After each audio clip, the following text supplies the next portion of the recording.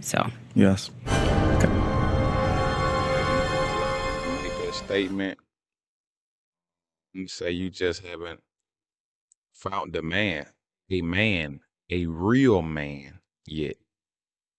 Don't shut down, don't block, don't presume, and don't assume. Know the difference. Do not presume and do not assume. Just like all women aren't the same, all men aren't the same. All females aren't the same. All males aren't the same. Let me say it that way. Because we are the same in nature, but we're different in mindset and makeup, personality.